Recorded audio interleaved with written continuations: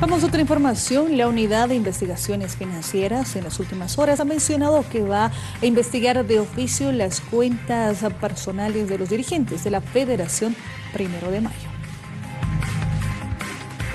dirigentes no han pedido el levantamiento de su secreto bancario, pero si hay un requerimiento fiscal o de autoridad competente, la UIF puede conocer esta información y no es que la va a publicar ni la va a conocer la población, es un informe de inteligencia para autoridades competentes, al Ministerio de Transparencia o a la Fiscalía, que sea quien lo tenga que procesar o a la, o a la Procuraduría.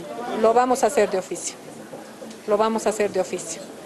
Todos los casos que ustedes ven en la, en la prensa que salen por corrupción, por acusaciones de movimientos económicos eh, extraños, la UIF comienza de oficio y remite a autoridad competente informes de inteligencia. Pero sí se va a hacer del caso choferes, el caso cotas.